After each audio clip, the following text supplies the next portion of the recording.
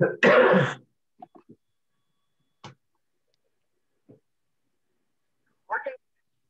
you hear it? No.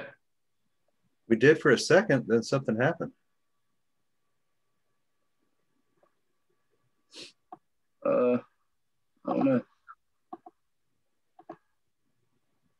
Uh, Yeah, I could hear it for a couple seconds and then it just went out.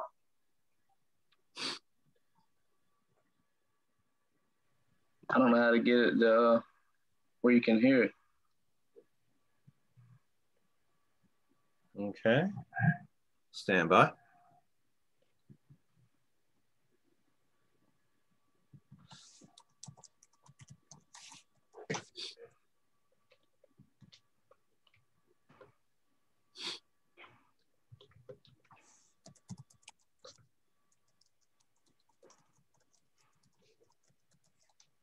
Let's see.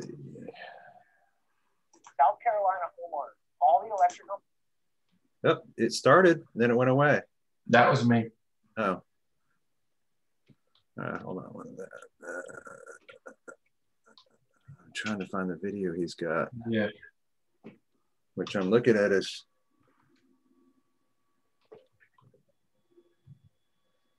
your local lineman dress for safety. Okay. are raising their rates this year, but you can stop them. Stop it.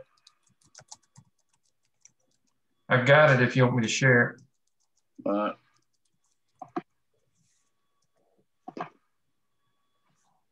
Working at Echo, Stop. Stop. All right. All right, gentlemen, full share screen, share screen, share screen. Got it? You got it? Yep. Here we go. understand the safe work practices. That's why our qualified linemen can make these energized connections, but we're asking that you have a general hands-off policy. During that four-year accredited program, it's actually two years before they can make any sort of energized connections. They learn the electrical theories necessary to perform the work safely. They have specific personal protective equipment that they wear, starting with a hard hat. That hard hat has an insulation value up to 20,000 volts. That's if they're working in a bucket and they make their head bounces off of an overhead conductor. It will actually protect them up to 20,000 volts. Moving down, you'll see that very thick rubber insulating material, the rubber gloves and sleeves. That rubber gloves and sleeves has an insulating value of up to 17,000 volts. Every 55 days at our company, we collect every person's rubber goods materials, ship it out to an outside laboratory, and have them tested at 20,000 volts. That way we can protect and ensure that its protection is available for our qualified linemen. Every morning, they do a blow-up test to make sure that there's not the slightest pinhole in that rubber glove or sleeve material, because that slightest pinhole can have actually electricity track through it, which would be catastrophe for our qualified linemen, as they use that as their last means of defense. Moving through their uniforms, it's actually a fire retardant material. That material is designed to automatically self-extinguish if they were ever in that intense heat in an arc flash environment. What that means is, as soon as it ignites, it's going to automatically go out. If you are wearing the clothing that you're probably wearing now, synthetic fibers, that material will actually burn and melt into your skin. That's why they say sometimes you're better off naked than wearing any clothing whatsoever in that arc flash environment. What? Lastly, steel toe. Right. Their steel toe boots aren't just your normal construction steel toe boots. They have a step potential value of up to 20,000 volts. Step potential is an electric phenomenon in which ripples of electricity actually ripple from the center out, much like ripples in the pond.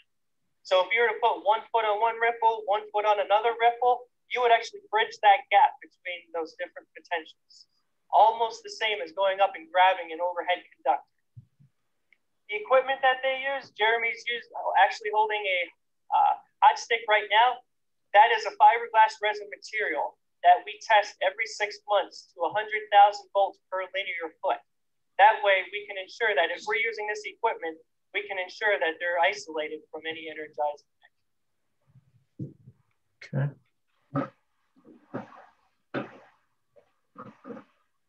All right. Mr. Jackson, you got anything you want to add to this? uh, no, sir. Okay. And I know you, you guys, I mean, we've talked about this a lot and we you will continue to talk about it if you stay in this industry. Um, safety is nothing to frown upon. Uh, you talk about these things over and over and over and over again.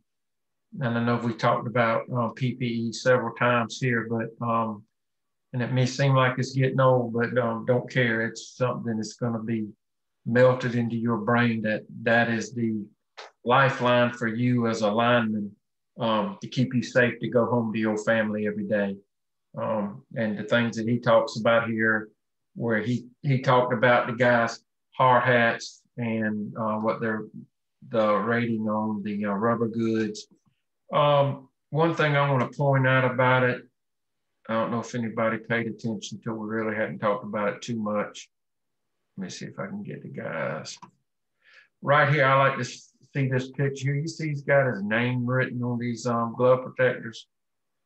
Um, guys, these rubber gloves will be your PPE and that's personal protective equipment. I know it, um, Duke, the crew I came off of, I fussed about it all the time to them that they, they always wanted to grab my rubber gloves out of the, the bin and use them.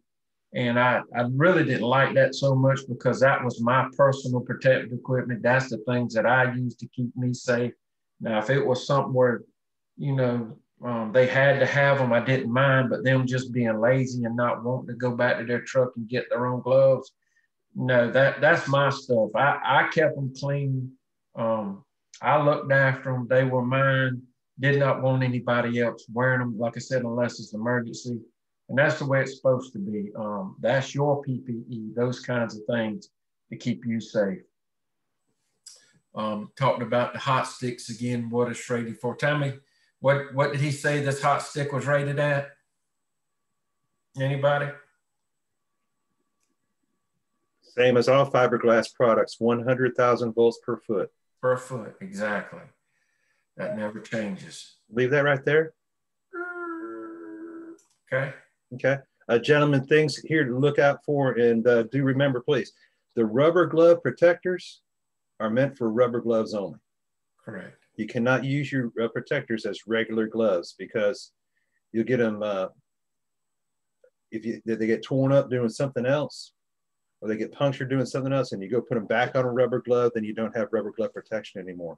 You'll notice also below his name right there, can anybody make that out? What's underneath that? There's white writing on there. It's dates. It's a date. So if you get, and this is something to watch out for, when you get your rubber gloves back from being tested, make sure they are stamped with the date they were tested. If you've got a pair of rubber gloves on that are more than 30 days old from the date, then they have not been tested in the correct time period, correct, Professor V? Correct. All right. So make sure you check that date. I have seen them get sent off and come back and either did not get tested or they didn't get stamped. You've got to have that verification white stamp on that uh, rubber glove piece right there. Yeah. Something we haven't talked about before, rubber gloves do come in sizes. Yep. So you can size your rubber gloves. And like Professor V said, I mean, this is, rubber gloves are like the wallet in your pocket man, you don't want to you don't want anybody else to use them. You want to keep them in a safe place. And we just talked about the stick. The stick's value is what? Voltage value? Hundred thousand. 100,000 100,000 per foot. Gentlemen, you can take that same value and put it to any fiberglass product that's used in the industry. So the telescopic sticks that we're using, out there in the field, they're insulated to 100 kV per foot. The boom on a bucket truck or the boom on a line truck is insulated to 100 kV per foot. You will get a brand new bucket truck or a brand new line truck for the manufacturer, and the manual will come with the truck. And guess what it says right there in the front page of the manual? Danger, warning, this is not an insulated device. It's made of fiberglass. Why do they say that in the front of the book? Because it's not all fiberglass. Well, fiberglass is fiberglass. If I'm working on a 120 volt line, I got one foot of fiberglass. I got 100,000 volts of protection, correct? Correct. They cannot guarantee, once it leaves their factory, they cannot guarantee the integrity of the boom due to damage, due to dirt, water, Wear and tear and all. all- hydraulic fluid, everything like that. So your rubber gloves are the front line of defense between you and whatever you're working on. All right. These are tested every month. These are tested by you. How often? You as a person. Every day. Nope. Okay, before each use. There you go. Thank you very much. Before every single use, you're going to test these things. So this is your front line of defense. You know, in the first part of the video, I don't know if you guys heard it. How long does it take a lineman for SMECO, that's Southern Maryland Electric Cooperative, to be able to work anything energized at all? Anybody catch it? Three years. Three years. So they're going to have a lineman in training for three years before they can work anything energized at all. That's uh, that's company dependent. Depends on the company you work for. Yeah. Okay, carry on. All right, let's see. Um, we talked about um, rubber goods, rubber, and, and I'll just add what he said about these gloves being tested. I was able to go to a, a testing facility up in Raleigh early on in my career and view the testing lab. And these things come in, of course, they they come in in special boxes. And there are hundreds of gloves dumped into Florida have to go in a big washer and then a, then a dryer, and then they're tested. So I mean, there, there's a possibility that a pair or two may, you know, get kicked to the side and not get tested good. So check those dates. Um, what else did he hit on? Your boots. Um, guys, just make sure that whenever you get your boots inside that tab, uh, inside the, the side lining of the boot, it has a EH, you know, stamped into the side of it somewhere so you know it's electrical hazard boot very important. All these things work together. You hold right there at the boot. All right, EH for it's electrical hazard boot uh, preventing a step potential. Yeah, I, you know, we, we saw a previous video. I can't remember. It was Professor V's, I think, or it was a demo, and they showed the guy wearing the rubber boots over their boots. Correct? Yeah. Yeah, I'm not hundred percent on the electrical hazard Yeah. when a boot looks like this. Right. This guy, uh, it's not the bow-legged guy that was on the right-hand side, doesn't look like him. These boots have got some wear and tear on them. Yeah.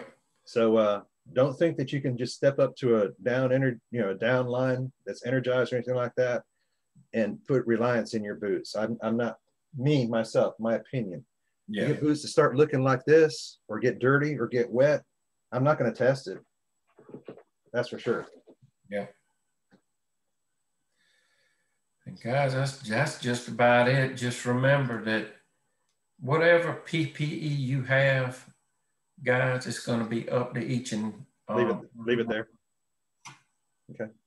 Go ahead. You can continue. I just leave it It's, there. it's up to you all to make sure that your stuff is, you know, kept up to standards. Nobody's going to come behind you and monitor you every day. It's going to be up to you to make sure your rubber gloves are clean, that they don't have holes in them, they're tested. Hard hats in compliance, and hard hard hats do go out of compliance. I think you have to. We used to have to replace ours like every five years. Um, they'd send us a new one, so just make sure that everything's in to date. Make sure you're, you know, just like these guys, they're pretty sharp here, except for Mr. Bowlegs. Um, they've got the shirt tails tucked in. They, they look very professional here. So it's going to be up to you guys to make sure you use it the way it's supposed to be used. Okay. Uh, you, you said it right there, Professor V, about the shirts. I don't know how many linemen I've seen out there, and this is just not electrical linemen, all linemen that work for utilities and that take and untuck that shirt. Yep. All right. You cannot untuck your shirt. Why? Expose the skin. Right. Uh, Well, and I've yeah. seen it. I've seen it in demonstrations. I haven't seen it, you know, with anybody in person. An arc blast, and it is. It's a concussion shockwave blast. Anywhere below the bloat line, uh, belt line, will actually blow your shirt open, and all that arc energy is going to go up inside the shirt. You got to keep your shirt tucked in. These guys do like kind of spiffy and clean right here. And uh, one last thing before we leave, I didn't see anything on them, but they're rubbered up pretty good. Limit the amount of metal you have to none on your body. Yeah. Okay, so you guys with earrings, uh, regular finger rings, nose rings, whatever you wear, no wireframe glasses, no watches uh, on, on your body itself, even though you have all this protective material. And I'll give an example of myself right here. Metal attracts heat even through material. So uh, I told you the story of when I was electrocuted. I had change in my front pocket, and you can actually see the circle where the chain uh, change got hot and left a circle burn mark on my leg. That's through my fire retardant jeans. So get all that metal off your bodies. Yeah. Okay, Professor V. Hey, one last question for you, Professor Shoemaker. At Santee Cooper, do you have a choice of what kind of shirts you can buy or pants that you can get for uniforms? You, you do. Uh, you have the option of jeans, which everybody everybody pretty much went to jeans. Right. The uh, pleated pants were just so hot. These jeans did breathe a little bit, and you could get a short sleeve or long sleeve shirt. Now, of course, anytime that you had to work around voltage, any voltage at any time, if you were short sleeved, you need to put rubber sleeves on. Right. All right. If you're working on voltages between zero and 600 volts, you had to put uh, long sleeves on. Right. And you, could, you could avoid the rubber sleeves. There's a lot of things that you can do out there, and, and we'll, we'll stick on this for just a moment. Your fire retardant clothing has a value to it, and it's, it's in calories per calories per inch. Oh, calories in heat energy per inch. So at certain voltages, and we'll stick with this a little bit. You might want to look at look for a video there, V. Okay. All right. All voltages, as far as an electrical electrical are at any voltage, do they produce the same amount of heat?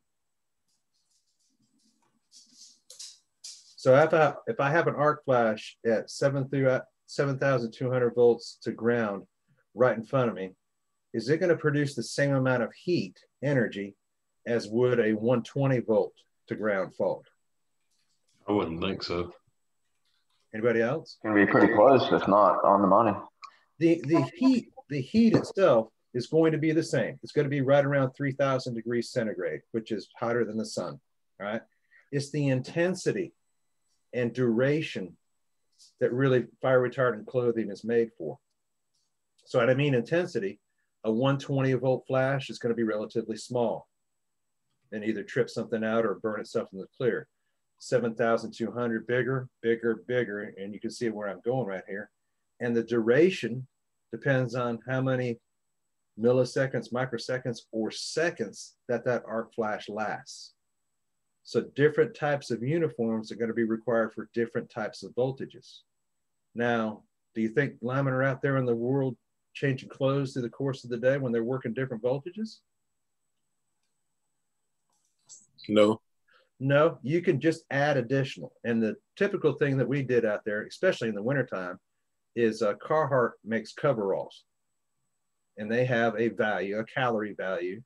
So you're actually putting more clothing on and covering up your clothing to meet the voltage that you're working with. Uh, we also had in the service center that you could get a fire retardant rain jacket, the full body rain jacket. So you'd have your normal clothes on and then you put your rain jacket on. Now you've got that additional protection in calories per square inch. Same thing with you, Professor V? Yeah, that's correct. Let me share this. I just found this little, this is where you can actually order this stuff and see how much it is. See this shirt right here on the left? This is a base layer shirt. I, this is what I some of my what Duke used to give us and I wore. It's it's got a a, 5.5 rating on it, um, cal rating or ounces on it. Um, if if you if your the shirt that you were wearing did not have meet the requirements for the cal rating for the work you do, then you could slip this shirt on up under that and wear that or this one right here as well. Um, but it had to be this base layer stuff had to go on there. I think I still have some of these and I might wear them sometime, but Yeah, um, they are. People aren't fireproof, just like it says right there, but these shirts are. Now, if you wear a t-shirt out there, what kind of t-shirt can you wear? Let's go back. 100% cotton. 100% cotton. If you wear 100% cotton socks, underwear, and t-shirts, you're good to go, guys. Do not get anything that's woven or a mix or anything polyester is the worst. Yeah. Polyester actually melts and will melt into your skin. Yeah. I really can't find anything else, Professor Shoemaker, Okay, that's fine. other than those shirts. But I mean, there's so many manufacturers now out there, guys. Bulwark, that's who Duke get their stuff from now. I mean, that's what we used to get our stuff. And we had so many different shirts to choose from, but you had to pay attention to that calorie rating on the order form to make sure it met to the standards because with Duke Energy so big and there's so many different parts to it, so many different from Florida all the way up to Kentucky, Indiana, that area. They work on so many different voltages. I mean, they just gave us the option to get what we needed. And if we had to get those base layers as well. So um, there's there's choices out there for you to wear. Right. Okay. Okay. Any questions there? Who supplies your uniform? Cintas, So you're going to go to Cintas and you're going to buy them from Cintas? No. The company should buy a I uniform got for it you. from the company. Typically, there Whatever the are yeah, there are two different plans out there. There's there's one where the company is going to go ahead and get you 14 sets of uniforms. So the company one week you're going to have a full set. You're going to use them through the course of the week, while the other set is at Cintas getting cleaned. All right, and then you're just going to rotate. They're going to come to the service center, drop off your clean ones, pick up your uh, dirty ones, and that rotation is going to stay in effect. You can go down and do your own if you want to, and that's a one week. But you have to wash them on your own. Follow the instructions that come with the uniform. Certain soaps and detergents will degrade the FR Right. value in those uniforms, the fire retardant value in those uniforms. So you have to follow those directions. I'll have to admit, and Robbie's probably got some input here. Uh, as a lineman, the whole way through working on a line crew, I was always uh, had the two week rotation, and it was payroll deducted. Most of it picked up by the company. Once I became a supervisor, and just wasn't hands on that much with uh, high voltages because I was typically down on the ground. I went to the one week and then in, in road just did my own. Robbie, what'd you do? we didn't have that option of having a laundry service. We we had a um of course when the new guys came on, they were given I think two weeks worth of uniforms, but we were we're given four hundred and like eighty dollars a year to buy uniforms, and that included jacks. And that money, four hundred eighty bucks, you saw the cost of some of that. Doesn't go far, but I mean, as you buy them, you know, you start adding up and then you just kind of launder them yourself. Um, it's not a service that they offer to do, but you do have to watch out for the, the, um, how you do that. You're not supposed to use fabric softeners, those kinds of things, because it will degrade the, the fire uh, retardant properties in the uniform. So that's one thing you have to watch out going for Duke is how you learn. And, and a lot of this stuff that I had for years and years, as I laundered it, it got thinner and thinner and thinner, and it wasn't so hot to wear. But as far as if I was to get a flash, I wasn't protected as I should have been, and that was my fault for, you know, not replacing it sooner. But um, that's you just kind of have to watch out and be aware of those kinds of things and re, you know, replace them because it is up to you. The company was spending the money, gave you an allowance to buy those things from. Um, the manufacturer that they set us set us up to get them through. So um, just kind of have to police yourself with that to say, you know, and and I think um, I counted up, I cleaned out my closet when I retired a year and a half ago, and I had probably 30 sets of uniforms in my closet. Good grief. Yeah, I never threw anything away. You're a clothes hound. I was, but I I cleaned my closet out and I think I, I kept like three sets in there. It's just nostalgia. So, Yeah. I'll, I'll throw a question out there. When do you need to wear a fire retardant uniform? All the time? Anybody else? Okay, you, you throw, is that Santarella? Yeah. You have to follow your company's policy. Some policies of some companies say you're required to wear your uniform 100% of the time. Uh, some companies have only around energized equipment. So if you're building a line out there from Conway to Loris and there's nothing else energized around, you don't have to wear a uniform, shirt at least. I mean, you're going to wear the pants, you're not going to change pants back and forth.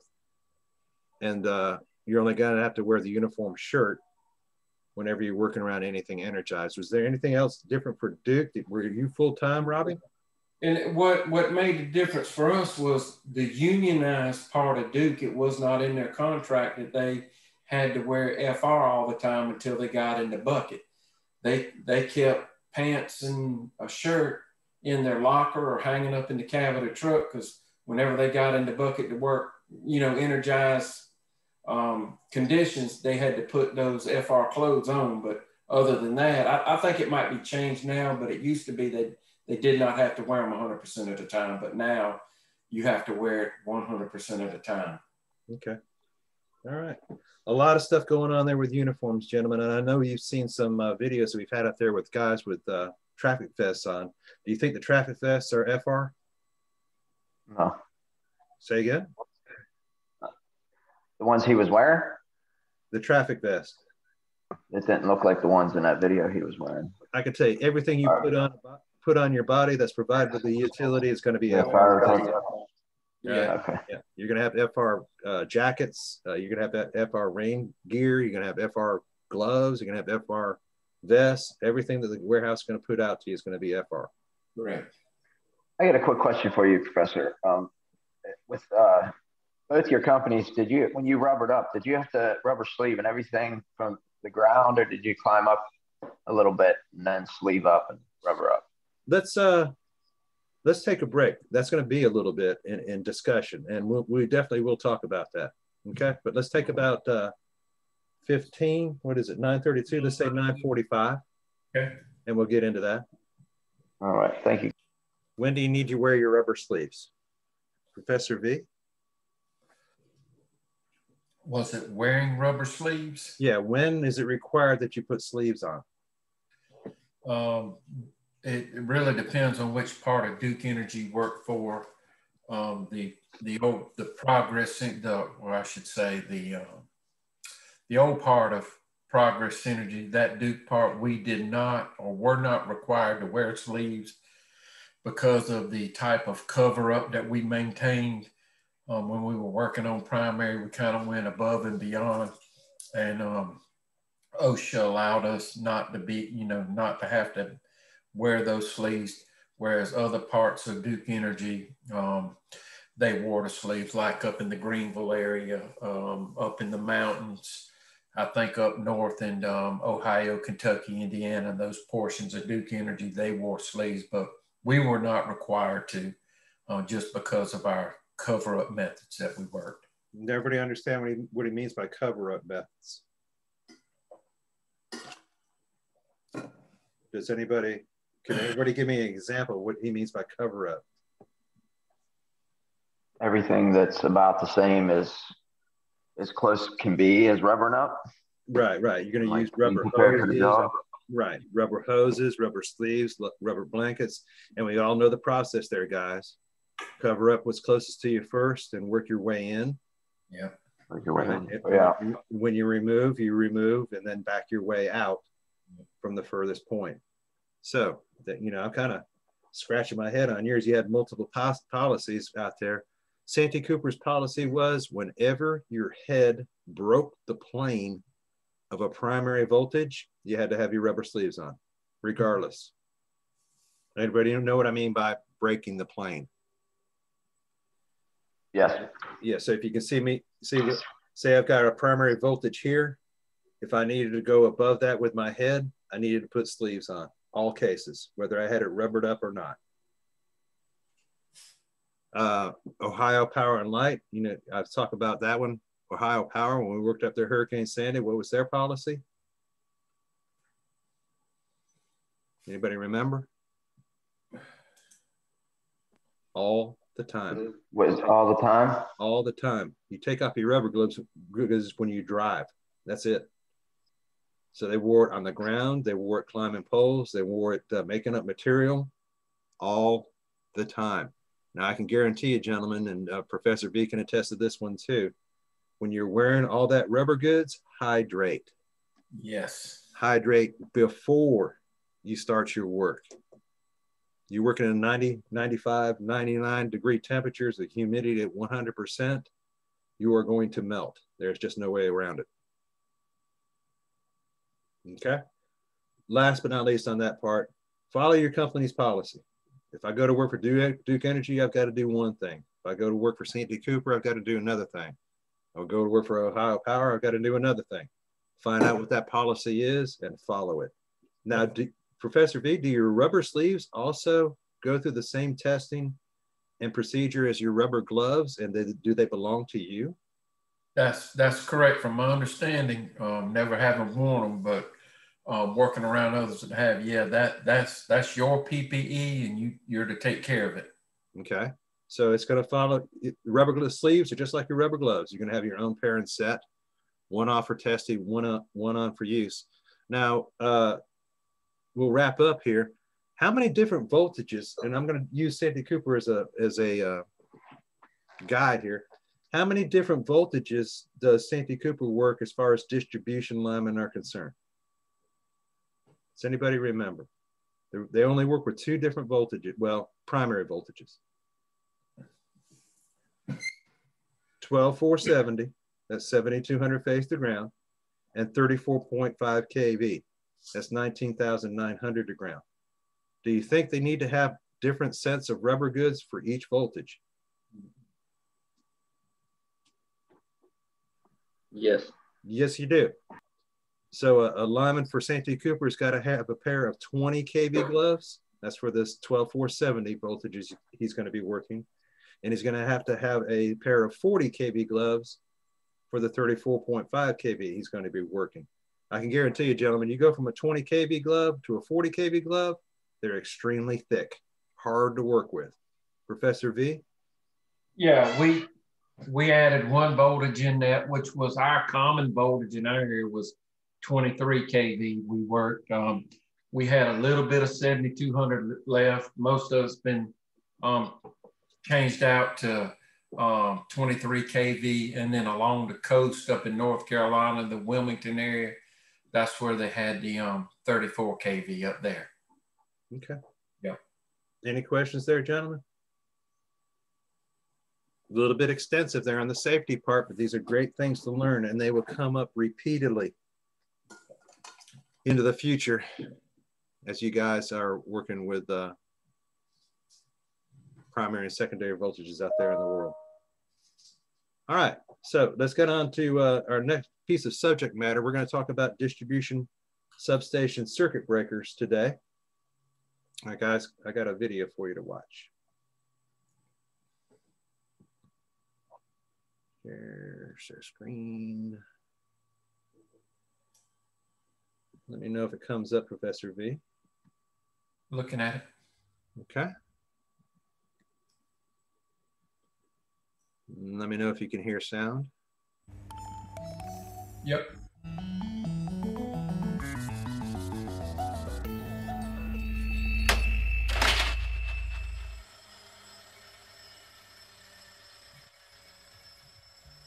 Circuit breakers allow the flow of energy to be controlled by safely switching currents on and off at all voltage levels of the energy grid.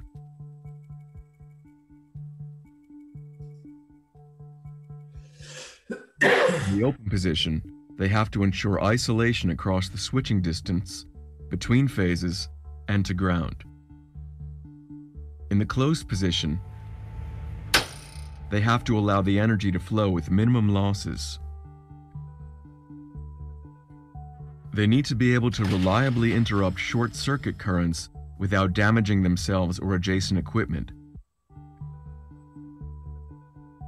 They need to be able to reliably interrupt short circuit. So you'll notice if you have a short circuit, and this can be a, multiple types of, of short circuits, is a lightning strike a short circuit?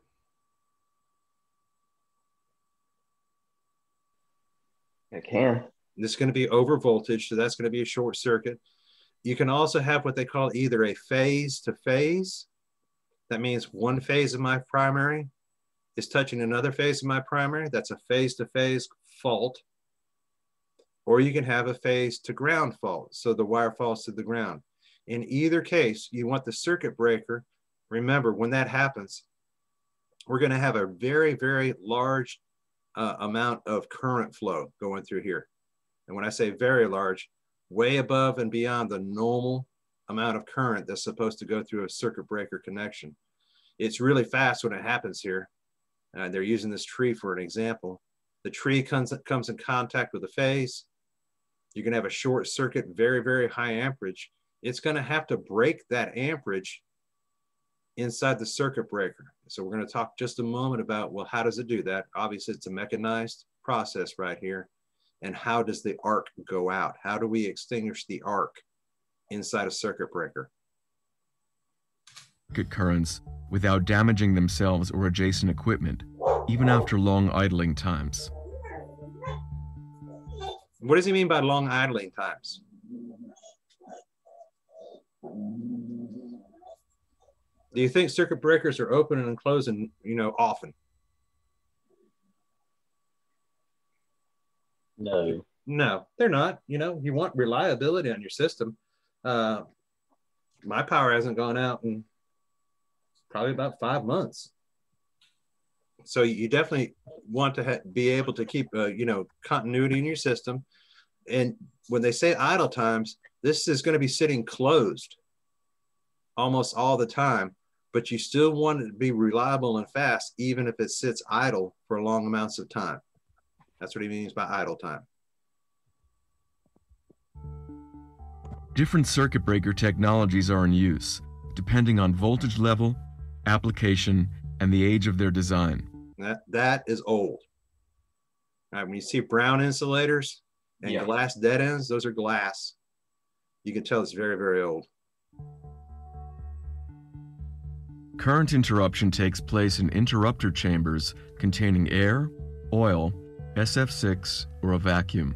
Okay, so you need to note those. All right. Current interruption takes place in an interrupter. That's the tubes that's inside the uh, circuit breaker itself. And what are the arc extinguishing processes right here? What are they using to help extinguish the arc?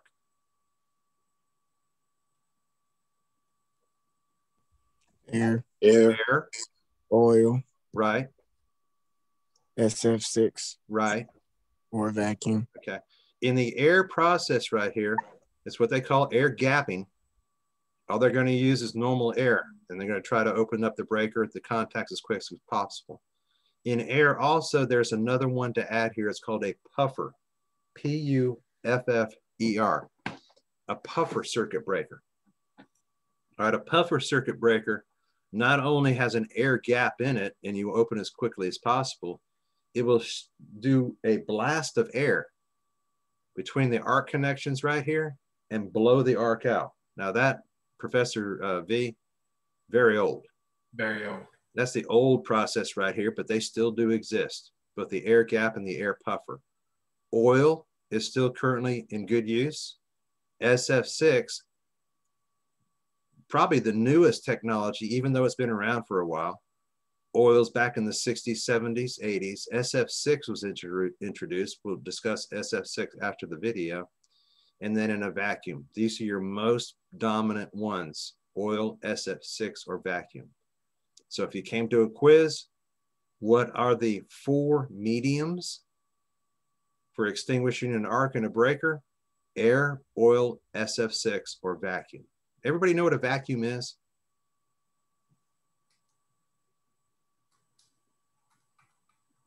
I'll take that as a no. There- It sucks out the air, so there's nothing inside. yeah, there, it's void. It's void of anything. You've got an air vacuum in here. So when the arc occurs, if you don't have oxygen in there, you get fire as a result of the oxygen. If you don't have any in there, it's going to extinguish the arc. So vacuum switches, they're in uh, use in circuit breakers and a lot of uh, capacitor banks. We'll talk about capacitor banks later. Circuit breakers may use multiple contact systems consisting of main contacts and arcing contacts. The main contacts allow operating current to flow with minimal losses, while arcing contacts can break short circuit currents with minimal arcing erosion.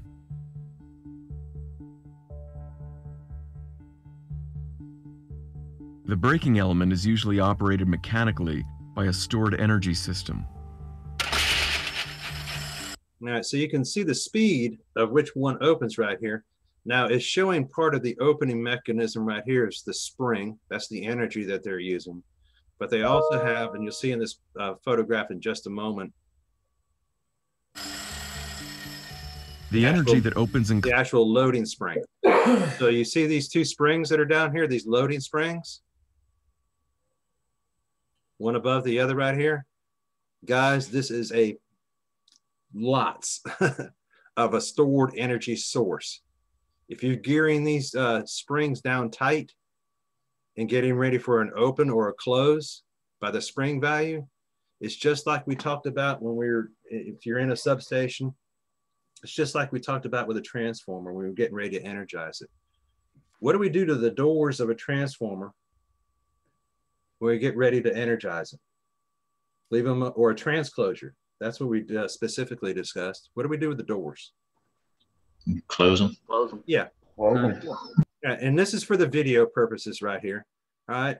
If you're working around a circuit breaker in a substation, substation maintenance is there or you're there, and yeah, they got the doors on, open on the thing and getting ready to open or close it, close the doors. Okay. If anything comes loose, if anything breaks, it's going to be contained behind the door. This uh, stored energy that they have right here in these springs is huge. It's it's immense. A lot of energy being stored right there. closes the contacts is typically stored in a spring, hydraulic, or pneumatic device or system. The stored energy is released by the trip or the close command signal.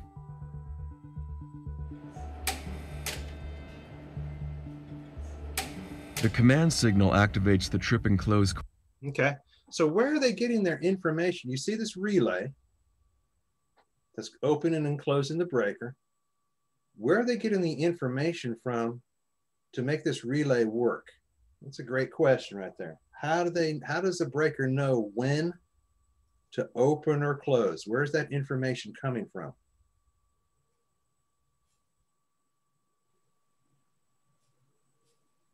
Right, I, I'll add you a clue here what is metering or measuring the amperage to make the relay operate?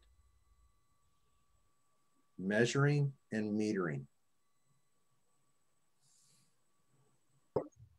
Current transformer. Right. Current transformers in the breaker are monitoring the amount of amperage that are going through the breaker. All right. The current transformer is obviously stepping that down. I can't put that large amount of amperage into this relay right here. It would burn it up. All right, current transformer steps it down. And once it reaches the value where it needs to trip open or close itself, that information is going through the relay. The relay then in turn sends a signal to the mechanism in the breaker to tell it to open or close. So the CT is working in conjunction with the relay, and then it's working in conjunction with the breaker to open or close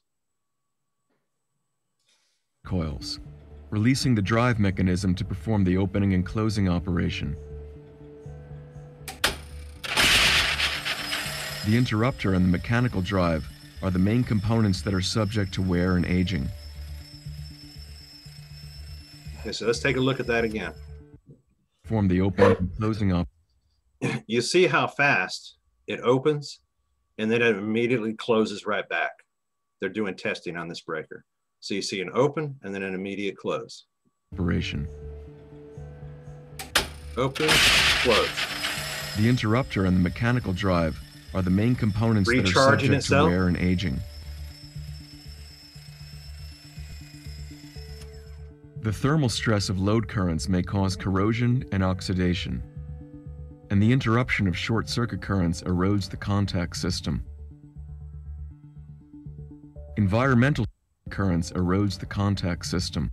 Okay, so you see this contact system right here, obviously meant to carry a lot of what? Volts, resistance, or amps.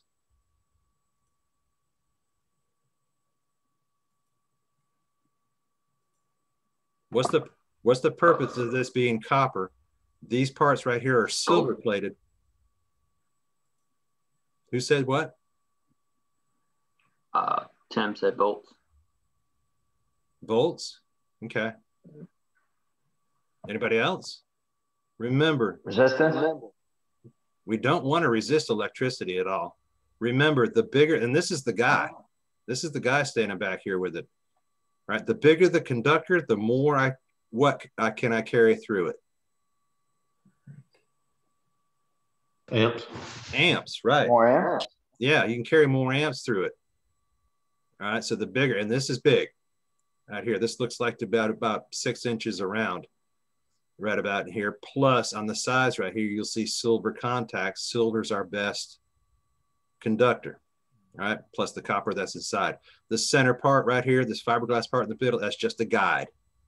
So it goes in and out of the contacts in line.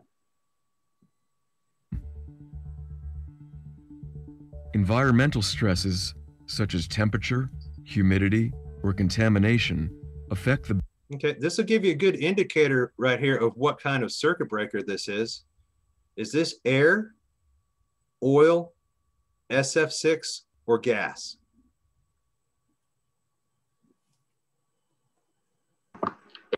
Take a look at the left-hand side. Oil. Oil, yeah, there's your oil level right there. Perfect, 100%.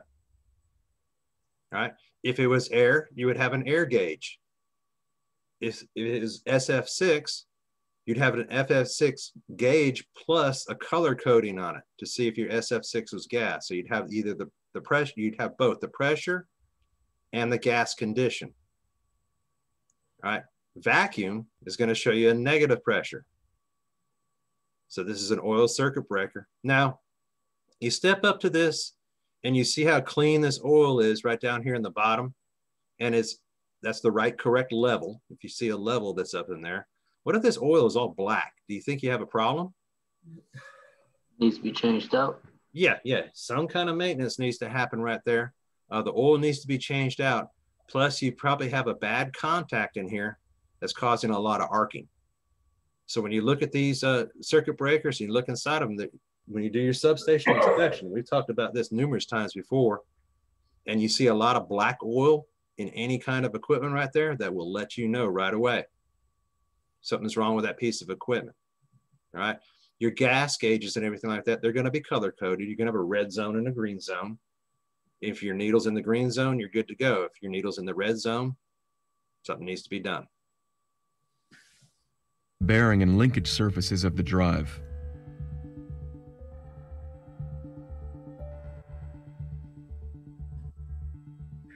Ancillary components, such as bushings, are also subject to electrical stress aging.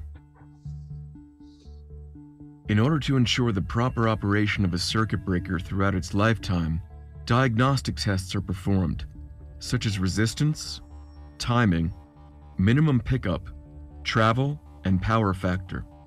Okay, we're not going to get that gets more into the relation of being a relay technician or a substation technician. So we're going to stop the video there. I just want to let you know the mediums that were used as far as breaking arcs and circuit breakers. One, and the uh, different types of circuit breakers as far as their operations are concerned. Okay, we're going to go on to a, another video here if I can find it. Back up. All right.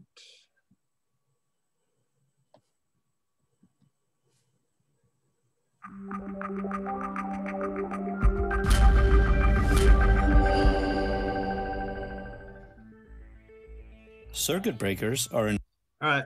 You know, this has come out before. How do I know this is a circuit breaker? Just by looking at it. Bushings are all the same.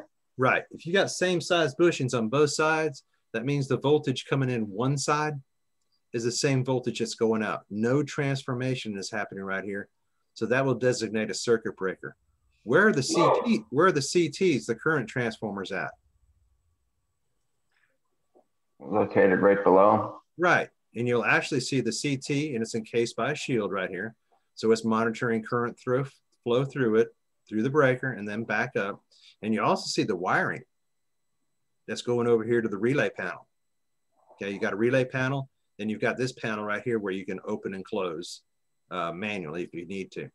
So a lot of clues right here as to far what as far as what kind of a piece of equipment it is. Now I can tell you just by experience, this is going to be SF6. This SF6 tube right here is what contains the gas. An important and critical component of the power delivery system. All right, uh, I went too fast. Component of the power delivery system. All right. You'll see by looking in the breaker and the breaker door, typically on the door, you'll have a window right here so you can see through the door, through the window. What position is this breaker in, open or closed? Closed. Closed. Okay. Closed. All right. And this goes to uh, Professor V could probably jump on this one too, because I know he's got different terminolo terminologies. Guys, as far as electrical system is concerned, a utility, think red hot. Yep. Red hot. Just like the candy that you eat. If you see anything that's red in this situation, that means whatever it is is closed and the line or whatever it's attached to is hot. Some guys, and you will see this happen right here, this one's going to open for you. Oh, well, it was open. Shows you how fast they Power delivery system.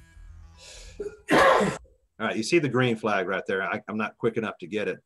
Some guys think that green means go. No. No, it's not. Red is hot, it's closed. Green is open.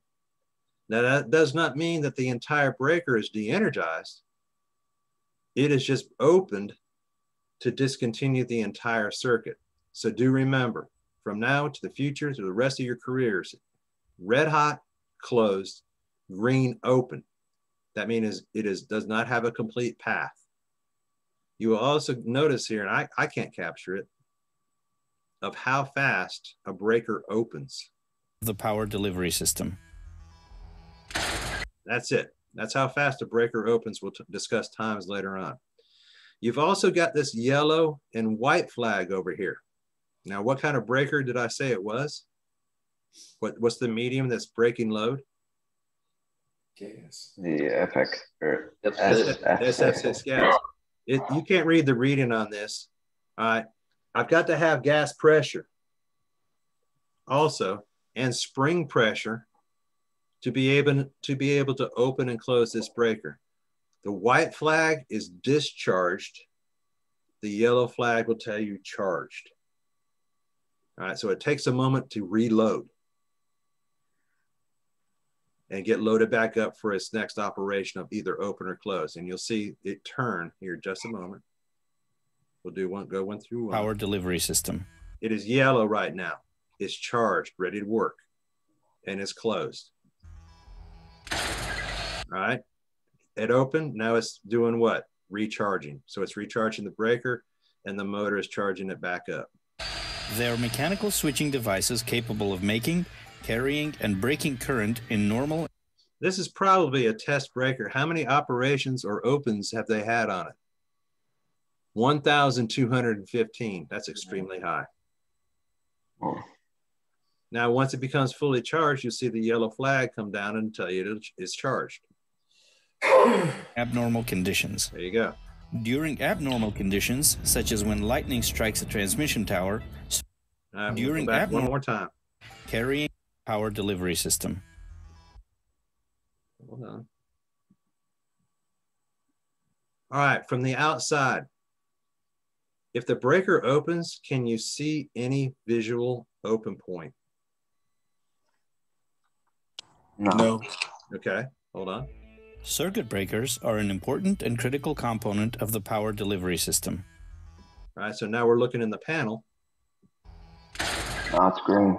All right. Now it's closed again. All right, it's closed. Their mechanical switch. When it was open or closed, can you see any visual open or closed open point, even with the door open? No. No, you cannot. It's all happening in here. It's encased. So I can't see it in the panel. I can't see it in the side. There's no window for it right here. That's why we discussed before. When we isolate breakers with bus side and line side disconnects, these are overhead disconnects up here. I can see the bushings for them on both sides. Then I can work on this piece of equipment. I cannot get a visual open point inside a breaker. That's for safety purposes. We have to have two, one on this side. You see my mouse and then one on the other side. Those are your two switches to be able to have visual open points so I can work on this breaker. Circuit breakers are an important and critical component of the power delivery system. They are mechanical switching devices capable of making, carrying, and breaking current in normal and abnormal conditions. During abnormal conditions, such as when lightning strikes a transmission tower, circuit breakers isolate the faulty components of the system to prevent additional damage. Ideally, in the closed position, a circuit breaker should act as a perfect conductor to ensure optimal current flow. In the open position, an ideal breaker should act as a perfect insulator and should be able to break the current instantaneously.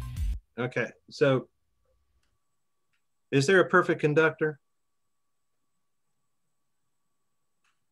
No. No. No. there is. Is there a perfect insulator? No. No. Well, you know, you try to do the best you can with what you got. And I have to admit, all right, these uh, a circuit breaker, they're very expensive. Is a good conductor and is a good circuit breaker if maintained correctly. All right, you're going to have to do monthly maintenance on a circuit breaker to make sure it's operating correctly. Circuit breakers feature fixed and moving con- perfect insulator and should be able to break the current instantaneously. All right, should be able to break current when? Instantaneously. All right, put that down on a piece of paper. We're going to discuss instantaneously here in a little bit. Instantaneously is a term that you guys need to know as far as your skills out there working in the field. We're going to define instantaneous in, in relation to a circuit breaker. Circuit breakers feature fixed and moving contacts that are housed in an arcing chamber and are opened or closed by an operating mechanism. The breaker's operating mechanism controls the moving contact to quickly open or close the circuit. When the contacts open, an arc is created due to current interruption. An AC arc extinguishes at every zero current level, but reignites immediately after. Okay, you see how this works here? So every time you lose voltage on our AC arc right here, what happens to the arc itself? Right on the zero line. It goes to zero. It goes to zero. And then uh, if the arc was not extinguished at the zero line, it just maintains, right? It just keeps arcing across. We want to limit that as much as possible. Crossing the zero point due to the presence of voltage across the open contact. In order to avoid arc reignition, the contacts must be separated with sufficient speed and the dielectric strength across the open contacts must be able to withstand the transient voltage. Okay, so what he's saying here, I've got to open it up very, very fast to be able to break that arc. Plus, I have to have good insulation value between the two connections right here, dielectric strength. Circuit breakers commonly feature an arcing chamber where the arc is intensively cooled by insulating media. Breakers are classified based on the insulating media used for arc suppression. The main four breaker types are air blast, oil, vacuum, and sulfur hexafluoride. Okay, once again, all the same ones air blast, oil, vacuum, and sulfur hexafluoride. And they actually do show breakers of those types. Okay. SF6 chambers are a definite clue or observation when you're looking at a breaker. All right, vacuum, it's actually going to have vacuum bottles where I can draw a vacuum on. Oil is going to be in a tank and it's going to have an oil meter right here. Air blast, I've not seen an air blast in person. Have you, Professor V? No. No, air blast, that is a real old, old technology, but it's compressed air up in this area right here that blows out the arc. SF6. This timeline shows the popularity of each breaker type over the years. Most breakers today are either vacuum or SF6 breakers due to. Now, Professor V, Yeah. uh, I know we did some big moves here, probably about 10 or 15 years ago, to go from oil to vacuum or SF6. Yes. Uh, but I know they're still out there. Right. Okay. So, guys, you know, water. No. They're using water to break load. Ooh, No. wow. That's old. to their smaller size. Substation breakers are classified as either independent pole or tripole. We're not going to get into independent pole or tripole. Okay. All right. So, what time are we holding here? Golly, 1019 already. All right, let's go ahead and we'll take a break and we'll go up to 1030 on a, on a break here. And then we're gonna get more into what uh, we've seen on the videos and discuss more on circuit breakers. All right, guys, take a break. Thank you very much. All right, just uh, to touch on this because we've heard it in the definitions before for uh, arc suppressants and arc mediums, sulfur hexafluoride, and this is, I want to bring up the safety aspect of it here, uh, is an extremely potent and persistent greenhouse gas that is primarily utilized as an electrical insulator and arc suppressant. It is or, inorganic, colorless, odorless, and non-flammable, and non-toxic SF, SF6 has an octahedral geometry consisting of six. So it goes on the uh, definition of all the components and everything are in it. The biggest thing in here and why it's used in the industry is uh, one, it's an it's a great insulator. So the gas itself has great insulative properties against it, and it's an arc suppressant. The thing you need to look out for, and we discussed when you're doing a substation inspection, and you see a SF6 gauge, it'll be either in the green, uh, yellow, or red situation. Yellow means it's low. Of course, red means it's out of gas. Is if I don't have the gas in the breaker or the switch that I'm using, can I operate that switch? Is it safe? No. No, you got to check the switch first before it gets operated. And remember, most of this is going to happen. happen. You're going to be walking through doing an inspection, and a SCADA or an operator that's some other place there is not going to have an SF6 reading. You're the inspector here. All right, they're not going to get an alarm on it or anything like that. So if you see a switch that's in this condition, that's in the red, it will not extinguish the arc, and you could have uh, a lot of damage that occurs from it. The other part is if you're working in proximity to it, extremely potent and persistent greenhouse gas. All right, can you breathe it in? Nope. No, it's actually an oxygen and it's heavier than air. It's actually an oxygen depleter. So you're really not going to get poisoned from it, but you're not going to have oxygen to breathe if uh, SF6 is. And gag you. It'll gag you. All right. The other Will part. suffocate. The You're gonna suffocation. suffocate from the lack of oxygen. Correct. All right. Great. And the the thing that's uh, you won't be able to tell. Why? It's inorganic, colorless, and odorless. You can't tell Can't tell. that it's there. So uh, you see a condition where you've got low gas on a, on a product right there, all right, stay away from it and report it. That- is, that's why we wanted to bring up SF6 as far as that is concerned. Now, mineral oil, you're gonna have to clean up. A vacuum, of course, vacuum doesn't exist on a switch, still don't operate it. But none of these are, uh, I would say, quite as potent as SF6 gas. All right. So you should have a paint screen up now. Is that correct? Got it. Yes, sir. Got it. Got it. And a yes, sir. Great. Thank you very much. All right, let's talk for just a moment here. A little bit of a refresher. It was a while back. We're gonna do this here. All right, overload. Uh, that was not good.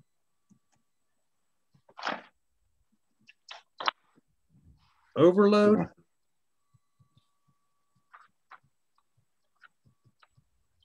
fault. Either phase to phase or phase to ground. Can anybody give me the definition of an overload or a fault? What's the difference between the two?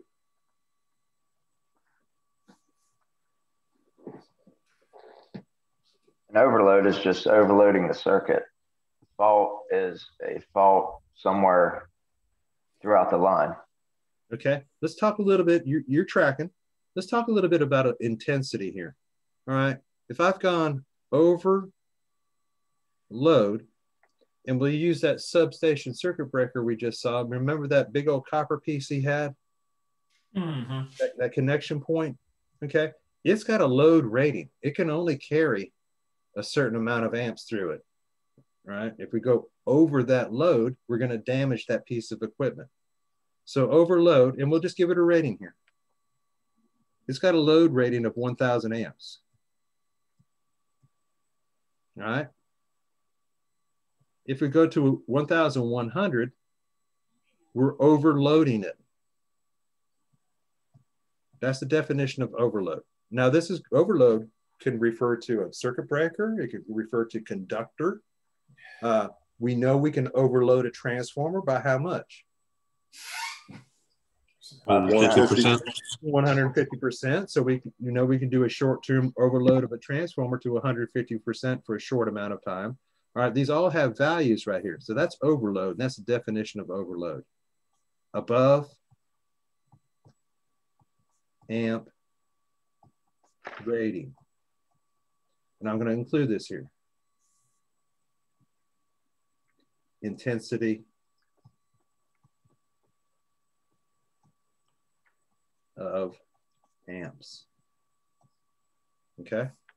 Now, who can give me a fault condition, either phase to phase, two primary phases touching each other, coming in contact, or a phase falls to the ground or touches a grounded object?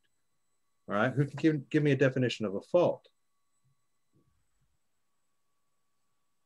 Tree branch falling on the line. All right, but what is it as far as compared to overload? circuit. I'm making it run out of out of the ordinary. All right, short circuit. I heard that time. All right, it definitely is not ordinary. Okay, and who's the first one? Tree limb. Tree limb, yeah. All right, tree limb. All right, something's wrong with our circuit, out of the ordinary.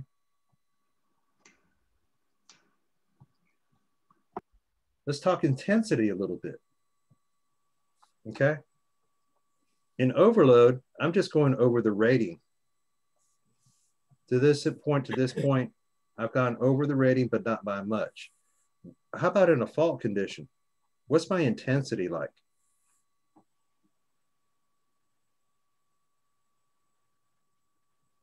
Is it extremely high? Yes. Yeah, it's going, yeah, it's going, I'm going, instead of going over the amp value that I have for the breaker or the circuit, whatever I'm using by here by a little bit, I've only gone up a 100 amps here. All right, in a short circuit, phase to phase or phase to phase to ground situation, we're going to talk, be talking about in the tens of thousands of amps. All right, that's the difference between overload and fault. Overload, I've just gone over the rating of whatever my piece of equipment is. All right, not by much, only by 100 amps. Faults are very high in intensity, tens of thousands of amps at one moment. Okay, so know those two definitions right here overload and faults, phase to phase, phase to ground. And we are recording here, so you can have this for use later on. Professor V, anything you'd like to add on those two definitions? I think that's an excellent explanation. Okay. Do understand when you get information out there from the field or from your dispatcher, anybody tells you, yeah, we've got a transformer and overload. Let's just go on over the radio a little bit. Or the breaker opened due to overload. It's just gone up over its rating. And they will tell you that in their description. A dispatcher or supervisor said, yeah, we've got a fault on the line. Well, now we know to look for a different situation right here. We're not looking to upsize our conductor or look for a burned out transformer. Now we've got something that's extreme. We've got either wire touching each other, phase to phase, or we've got wire on the ground. Okay, something is making contact here. Very high intensity amperages. All right. So let me go clear the screen. File. Don't say. So how does this all relate to? And you know, I'm finding it's getting a little bit technical here, and I don't expect you guys to be substation designers or you know maintenance people unless you want to be. I've had graduates go that direction. Is here to know out in the field when you hear certain things and uh, get certain bits of information. Plus, you go to work for utility, you have to know their breaker scheme on their system. All right, and you can learn that right away. In the video, he said one word here that we were going to define later, correct? Mm-hmm. All right, who can give me a good definition of instantaneous?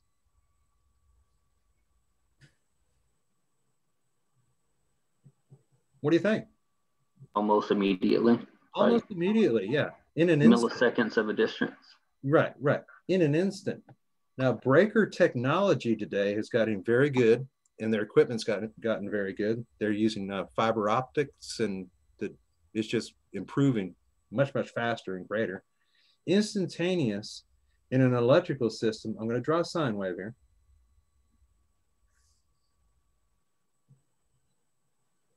That's one, two, three. Need to add two more. Four. I'm going to get tight here. All right, we'll say three, two, five. Each one of these is called a what? One full what? Cycle. Cycle. All right, Cycle. Five cycles. C L E S. All right. An instantaneous operation on a circuit breaker with the new technology today is supposed to operate, excuse me, open the breaker in three to five cycles. That's extremely fast. And that's what we want when we have an instantaneous operation. By the flag that you saw in the videos right there, that breaker, when you saw the uh, flag turn from C red to O green, that's happening in three to five cycles. Well, let's do the let's do a little bit of math here because we're all mathematicians now. How many cycles are in a second? 60. 60 cycles in a second. Excuse me, I can't draw. Control Z, Z, Z. 60 cycles are in one second. So who can do the math for me here? How fast is the breaker opening if it's between three to five cycles? Let's use the three first. What's Almost three- like one fifth of a second. one fifth of a second.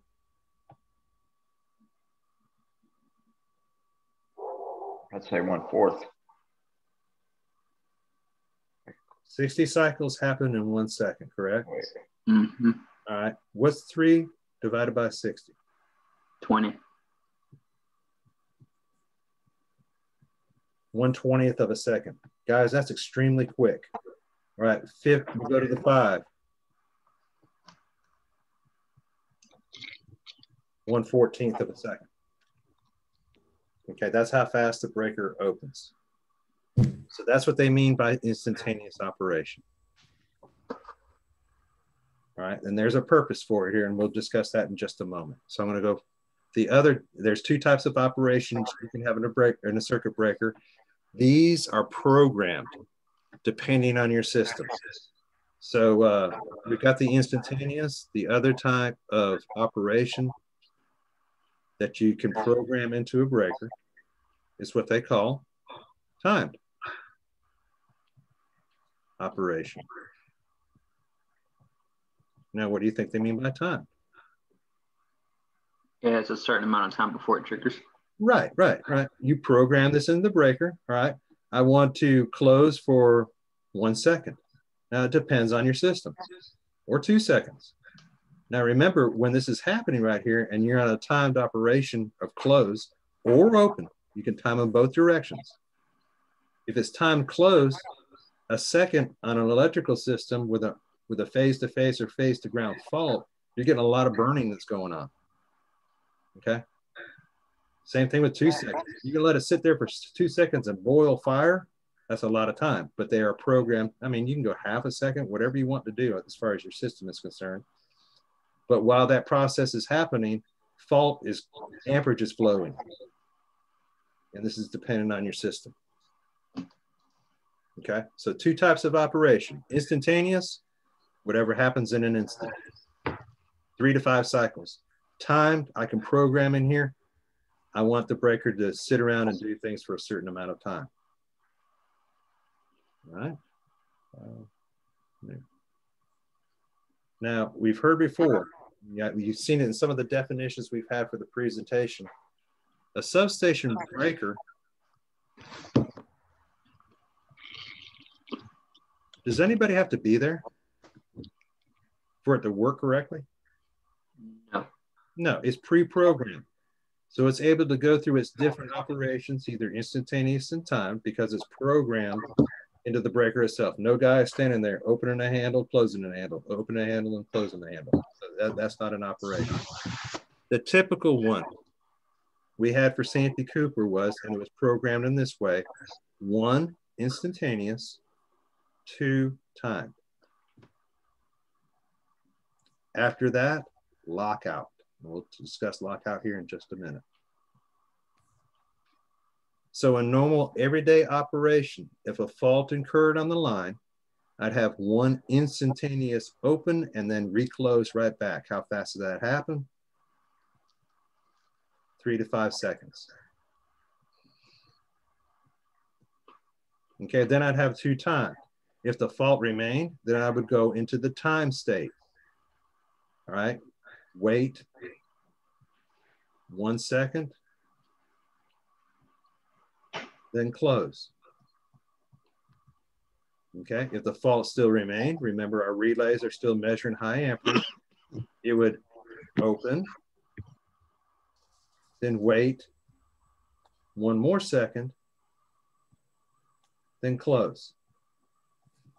If the fault still remained after all these steps, so that's one eye, one time, one time, I've satisfied my one eye and two time, it would go to what they call lockout. Can anybody give me a definition of what lockout means? Means it opens up the circuit and locks it so it won't reclose. Excellent, excellent definition right there. Opens, no close. Okay, that's lockout. It's going to take some kind of human intervention. A crew is going to get called out. They're going to have to patrol the line, fix whatever the problem was. And then uh, the dispatchers are going to take it out of lockout and try to reclose it again. Okay. I'm going to put down here human intervention to close.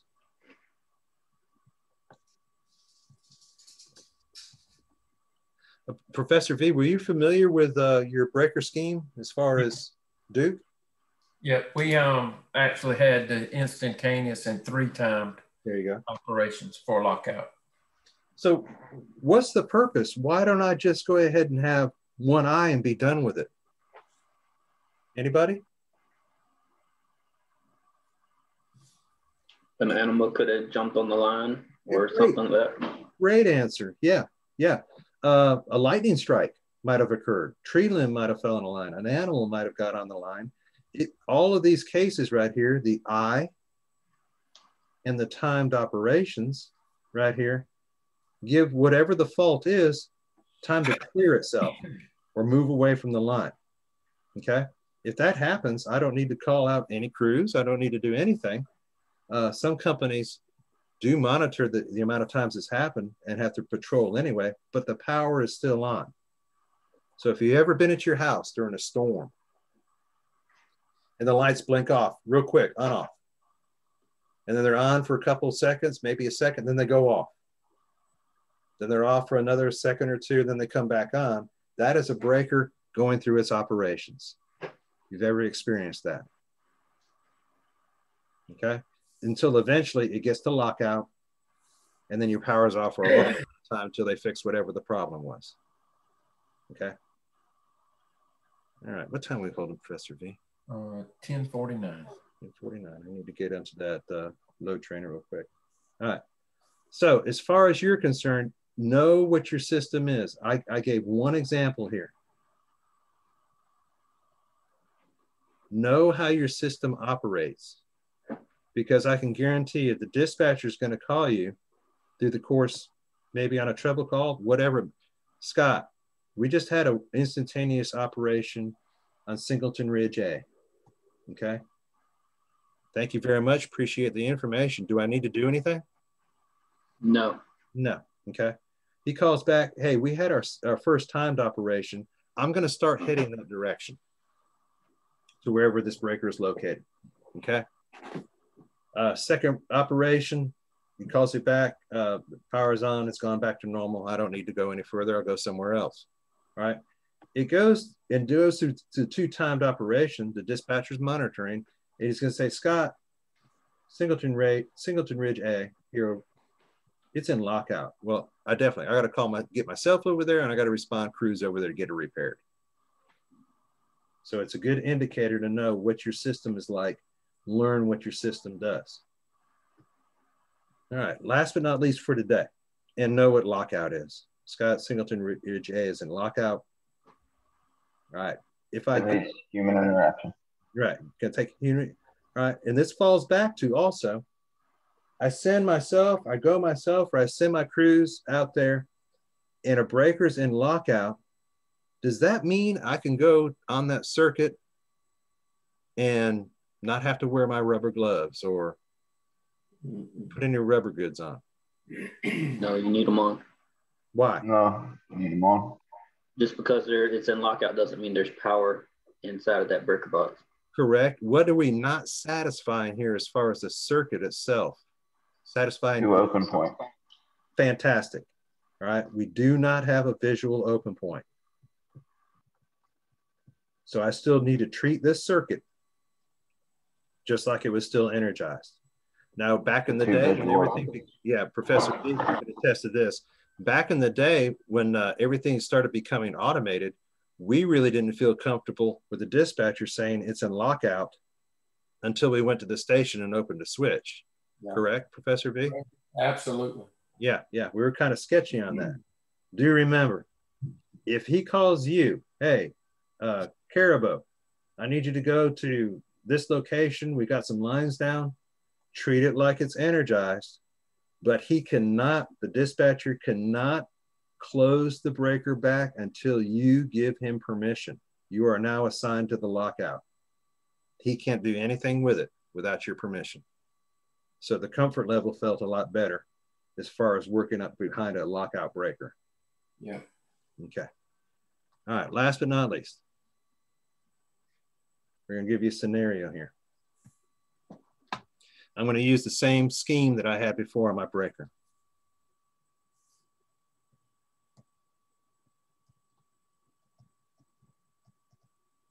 Okay, it's one I, two T. What does that mean? One time, two time. One, One instantaneous, two times. Two times. Okay. Here I am. Here's the pole. Transformer working on it.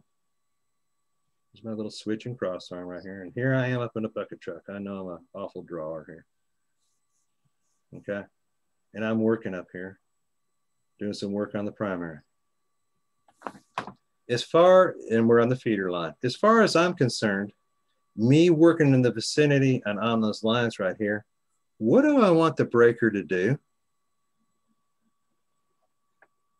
Open. And say I become, say there's a short circuit here. It's not, me not even involved, or I am involved. I had a- accidentally touched my head to the primary and I've got um, my just my leather glove and I touch a ground. What do I want the breaker to do? The trip. And Log out. who said that? Reggie. All right. So you definitely don't want it to open and close instantaneously and then there and do it two more times, do you? No, you don't want that at all. You want what they call an instantaneous open. All right. Professor V's got a different definition and terminology for this than I do, and he'll include his also. H W L P, hot line work permit. You'll call your dispatchers, and some companies you have to do this on your own. We'll tell you how to do it later. But whenever you're working in the proximity of an overhead feeder line or an overhead tap line, you must obtain a hotline work permit. All right. What this does is they're going to send a signal to the breaker and disable timed. And they're going to disable instantaneous close. This all happens through automation. So I come in contact with the line. What will the breaker do? Walk out. One eye open, correct, and go straight to lockout. It's going to open in three to five cycles and then lock out. Okay. You can see the safety feature that's going on here as far as you working in proximity with these primary conductors. We definitely don't want it to eye open and then close. No way. And we definitely don't want that to happen two more times. We're going to be sitting up there cooking. Professor V, what do you call what we call the hotline work permit? We call it the hotline tag. Hotline tag. H L T. Hot line tag. Okay. All right. So the outcome of today was, of course, knowing how a breaker works, know what your scheme is on your system, you know, instantaneous or time. And whenever you work in proximity of overhead primary conductors, underground is a little bit different. We'll discuss that when we get into underground. Okay. What do you have to have while you work? Right. A hotline work permit or a hotline tag. Now, who can obtain those things? Who's Whoever in allowed- charge of the site. Who, who is allowed to get a hotline work permit and a hotline tag? Who's in charge of the site? Anybody else? For safety reasons, anybody. Your first day on the job, if the supervisor feels confident with you, knowing what the responsibility responsibilities are here, you can get a hotline work permit on the circuit that you're working on. And we'll discuss later how you're going to relay that information to a dispatcher. But for safety reasons, you can get one. Do understand it's going to involve a little bit of responsibility that's going on here. All right, you call in with your radio. I'd like to get a hotline work permit on Singleton Ridge A. You are now responsible not only for the location that you're working at, but for the entire circuit. So if they call you back, hey, Scott, we just had an instantaneous open on your breaker, it's locked out. Okay. Hey, Scott. Hey, Scott. We can't get a hold of Scott. Oh, Yeah. can they close the breaker without getting a hold of the person? No. Nope. So No, how- it's going to be have to use. you got to be in close. You got to be in close communications here. So you're going to be taking on that responsibility. Two is, and I'll just extend my line here a little bit. Come to the next pole down. I'm working here at this location, and this is for the entirety of this circuit. 20 spans away, a bird flies into the line. Mm-hmm. What's going to happen? Line drops. No, we'll just say a bird flew into it, and line doesn't come to the ground or anything. But what's going to happen with the breaker? It opens. It's going to open just like you want it to. Remember, you've got a hotline work permit. It's going to eye target. It's going to open. It's not going to reclose. It's going to go to lockout. I mean, guys, this can happen miles away. You don't even see it. Right? Dispatcher's going to, he doesn't know that. Dispatcher's going to call you. He's going to say, Hey, Scott, we just had an eye target. That breaker's open on lockout. All you have to do is get your men, and if nothing happened at the location, get your men and the equipment in the clear and tell them to close the breaker back. So those are the responsibilities that are involved in that. Okay. All right. Can you get a hotline work permit if you see a potential fault that's going to happen? Yes. Sure. Sure. If it's not really any danger to the public, but if you want to get a hotline work permit, you see something that's getting may get, you know, in trouble with, the wind's blowing, slapping primary phases together, go ahead and get a hotline work permit. The next time it happens, it's going to lock the breaker out. That's okay. You're preventing damage. All right. Anything else? Anything you'd like to add, Professor V? No, sir, that was good. All right, great deal. Okay, so tomorrow, because we lost the classroom last Thursday by my decision, what we are going to do tomorrow is we are going to, let me know when we can get my share screen. You got a share on that? Yes, sir. All right.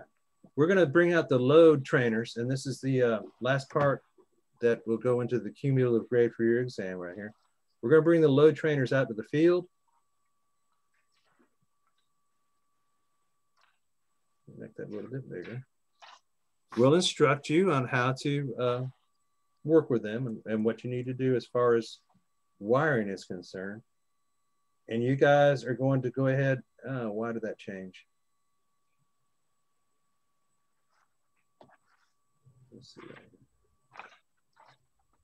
Okay, there's the picture.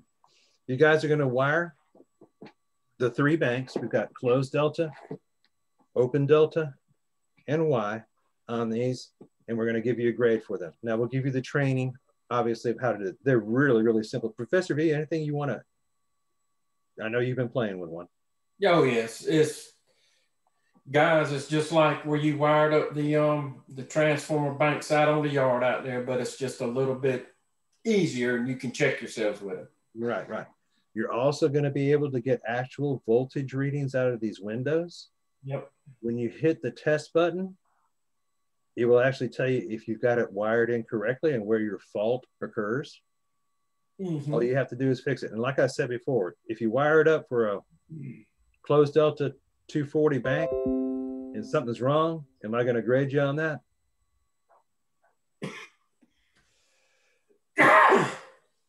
am I going to allow you to fix it? It's Yeah. Yes. Fix whatever the problem is. All right. And then as soon as you get to one that's incorrect, then just move on to the next bank right there. All right. Pretty cool, slick piece of equipment. All digital. It is pretty nice to use. right. And we have two of those. So some will be climbing and some will be just going through the uh, testing process of the three load trainers. Any questions there? All right. I got a question, Professor V. Yep. By this picture, I've got four bushings on this transformer. How does that work? Which of the um, ground bushing at the bottom, the green ground, tank ground. No, the uh, secondary bushings, I've got one, two, three, and four. And I'll bring up this transformer, maybe, to help in your explanation. Yeah, guys, that's just like where we had the three bushing transformers A, B, C, and D. Those are just individual. That's A, A bushing, B bushing, C bushing, and D bushing. and then you just tie the two middle bushings together to, together to give you uh, a BC um, ground in the middle. So your explanation here, because I'm mousing over it, A, A, B, correct, C, D, and D on this far side right here. correct, The reason why we got the load trainers in this fashion is uh, this will gives you the opportunity to use a four bushing transformer or three. right, Professor V just explained, if you want to go to a three bushing transformer, you just tie or connect a piece of copper between these two. So now I've got A, B, C, D on this transformer. Pretty, Right. pretty typical on, what would you say, 167 kVAs and above? correct, yes. Yeah, pretty typical on that. So don't let this stump you out there. And once again, we'll help you through this.